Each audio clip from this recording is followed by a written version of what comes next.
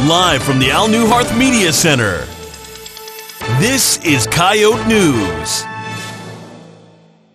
Two Coyotes are earning early recognition for their performances and earning this week's Summit League Athlete of the Week awards.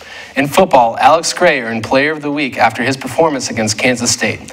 Gray led the team with two sacks and seven total tackles, along with an interception return for a touchdown and a fumble recovery. In volleyball, Ann Rasmussen earned her fifth Defensive Player of the Week award for her career after helping the Coyotes win their own classic inside the Sanford Coyotes Sports Center. Throughout the three game series, Rasmussen averaged 5.9 digs per set as the Coyotes went undefeated on the weekend.